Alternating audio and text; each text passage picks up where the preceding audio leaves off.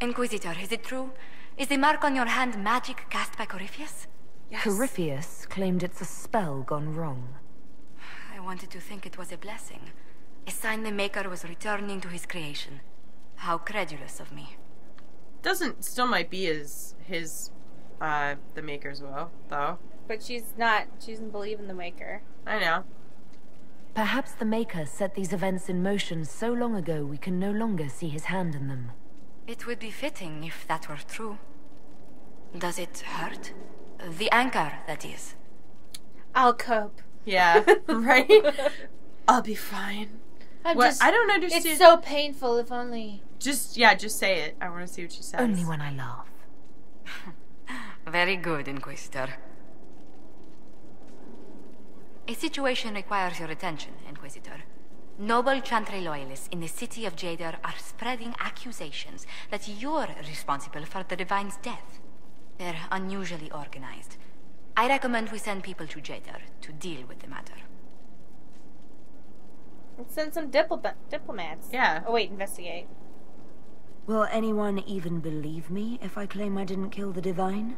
Perhaps if they learn about your heroics, we should emphasize how you stopped the breach devouring the sky. Even in Jader, it may win you a few admirers. What does the nobility gain by saying I murdered Justinia? A scapegoat to begin with, but I wonder if the Grand Clerics are at work. Those immediately eligible to be divine died at the Conclave. The ones remaining were not as favored. They may look upon you as a rival for influence. Let's send some diplomats. Yeah, let's not go crazy. Let's send some ambassadors to convince Jader I'm not a monster in disguise. Excellent. I believe there is much to be gained by winning them over. We've an interesting development, Inquisitor. A petition from citizens of Val Royeaux. They wish to know what Andraste said to you in the Fade. They Nope. think she spoke to me. Even Leliana can't trace the rumor's origin. Oh It may be expedient to respond to those asking for Andraste's words. I, I, uh, nope, that's not. Uh, Uh, but I never saw Andraste. tell him it wasn't on Day or I never saw. Oh, this is okay. Yeah, this is a question. It's not Andraste who saved me. Few people outside Skyhold know it was Divine Justinia who delivered you from the Fade. You could attempt to tell Val Royeaux's citizens the truth, though it may not be as inspiring as they hope. I don't want to lie. No. Tell them the Inquisition's position is that the Divine saved me from the Fade, not Andraste. Very well. Some of the devout will be discouraged, but it will placate the Chantry. It doesn't seem right to lie. No. Like I can't do that. Yes? How are you so polite, girl? How do you stay so civil with everyone, Josephine? Bonds of circumstance among the nobility are fickle.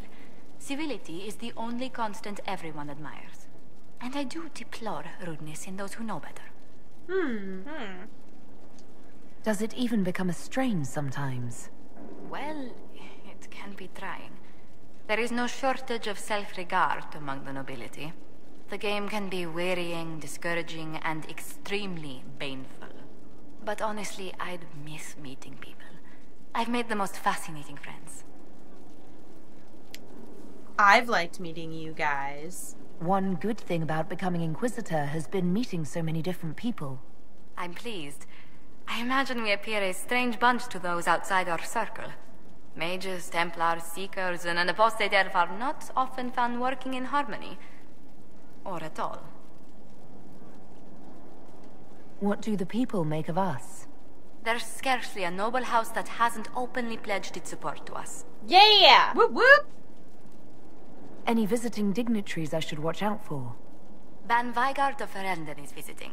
An honor, to be sure. Please show no alarm if you hear shouting in his quarters at night. Shouting? His lordship spent a half a year with his lands under siege by Darkspawn during the Ferelden Blight. Oh. His wife informs me the bann still sleeps rather Oh. poorly. Hmm. That's sad. It's good to see you. What do the people make of us? There's scarcely a noble house that hasn't openly pledged its support to us. Any thoughts on the people here? Who did you mean? but her roguish friends. Sera! Ah, Sera. I'd love to know how you and Sera get along. I know she extracts gossip from the servants, and she keeps prying into things. Sera's ability to vanish whenever her mischief's discovered must come in handy, however. I'm sure. I was thinking of Varric. Oh, I could listen to his tales for hours. He actually let me read a chapter of his next book he's writing. My friends would be sick with envy if they knew. It's excellent, but a bit different from his past works. Only three beheadings so far. Everybody just loves Varric's books. I think he's like really popular with the with the ladies. I bet he's like a total. He's like uh, what was her name? Stephenie Meyer, who wrote Twilight, Yeah. and like so all the girls are like, oh my god, the books, they're amazing. I think it's a little different because Aveline was on the front, so it's probably like Aveline does everybody, and then she no, I know it's I know it's like. No, Not the I know the yeah. books. The books themselves are different, but I think like the level of fame and type of fame are Yes. pretty similar. yes, this very like fulfilled fantasy kind of book. Yes. Yeah. Exactly. Cole, actually. Who? Oh, wait, you mean the quiet young man? How strange. I'm sure we must have talked, yet I can't recall what we discussed. That's weird. Oh, Cole. What do you think of Cullen? Yeah. Commander Cullen came to mind. Of course he The did. commander is an intelligent, cautious man. I'm grateful he's in charge of our standing army. Still, he does sometimes resemble the man with a hammer to whom everything appears as a nail. kind of true. In Haven, when everything was going to shit, he's like, "All right, all we need to do now is decide how we're gonna kill ourselves." And we're like, "Hold on a second. Wait, what? he wanted to kill everybody to like win or something." I was like, "Wait a second. What do you think of Ser Blackwall? Ser Blackwall seems as loyal to the purpose of the Inquisition as he is to the Wardens. His hmm. travels must have taken him strange places. I wish he'd speak more about them. By the way, Sir S-E-R means knight. Ah, and That's Sir means Mister S I R. Yeah, but S-E-R means knight or like warrior. So that's why it can go for men or women. I get it now. The Iron Bull has had to have made an impression. He is a loud, unapologetic accident merely waiting to happen. I do wish he'd stop daring poor dignitaries to outdrink him. Can you just imagine he's getting everybody like wasted and be You! like be like, ah, stop being such a pussy, get over here and have another drink and they're like passed out on the floor. Wake up so you can drink. I was thinking of Cassandra. Seeker Pentaghast is a princess of the Kingdom of Nevarra, although that barely seems important to her. She was not interested when I asked if we might make use of her royal relations. Still, the Inquisition would not have formed without Cassandra. She's an extraordinarily driven woman.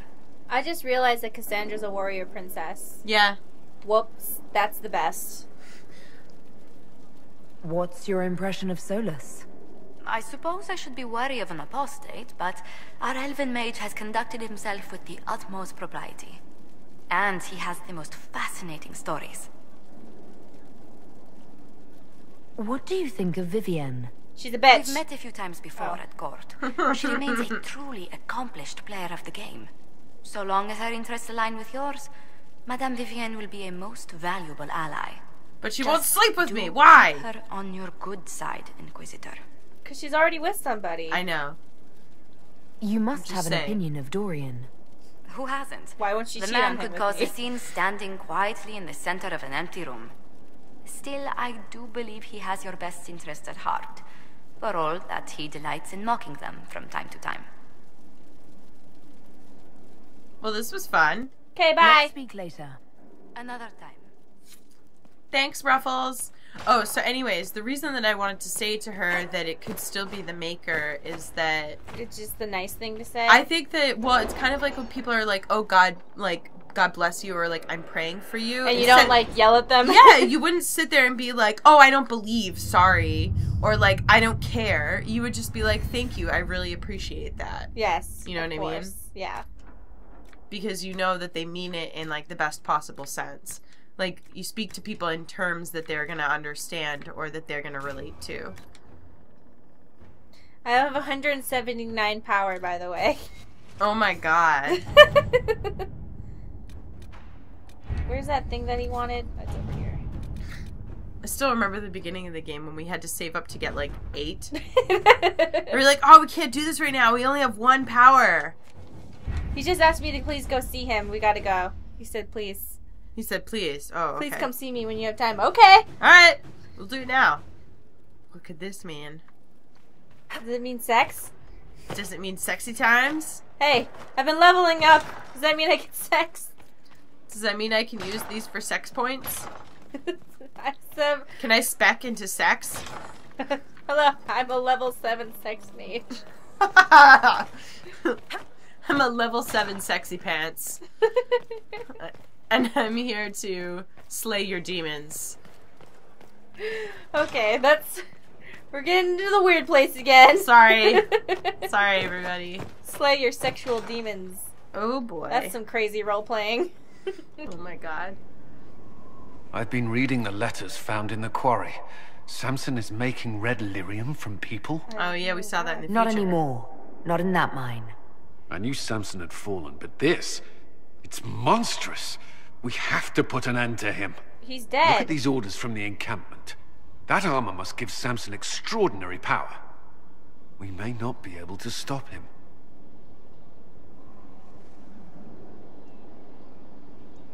Take away his armor and the lyrium, and Samson's just another man. I couldn't say how. Templars are trained not to destroy expensive magical equipment. Perhaps Dagna has some ideas. She crafts the impossible every day. Dagna, what have you learned of Samson? He should be dead. I mean, you could make a hat out of red lyrium and kill people, especially the wearer. Samson's armor is genius. To do all this and not go insane, it must He be is resistant. insane. Or he is insane. Or both. Thank you. Yep. Both is yeah. You're not comforting me, Dagna. He's dangerous either way. Oh, fine. I just need time and tools, people, and red lyrium. For tests, you see? Is that People. wise? Everything is safe if handled properly. And you don't touch it long, or breathe it. I mentioned the hat, right? no hat. Time and resources, Inquisitor. I'll get what you want. No shoe. I've work to do. Shoe. I Mind your love step for things, Inquisitor. This little dwarf is telling me to shoe. Go away, go away. Go away, silly elf. I have work to do. Now give me some people in red lyrium. Definitely not going to do what he was doing. Anyway, definitely, bye. Definitely not going to make a hat though. No hats. No hats allowed. Don't tell her about the hat. It's like the Mad Hatter over here. Some elves in Uthenera were able to reach perfection and draw sustenance from the Fade rather than dying in their sleep. It is possible that some live and retain some amount of control over the world of dreams. Elves in Uthenera were tended by servants to prevent discomfort from waking them, and who bathed them in scented oils to provide them the spark of wisdom on their journey. Sacred herbs were thrown into an eternal fire in the sleeping chambers of the dreamers to guide them from the to guide them to the beyond. An elf who had perfected themselves no longer required the potion of water, honey, and herbs used to keep mages alive during Uthenera. Such elves were moved to, into beds of pure white, signifying their achievement.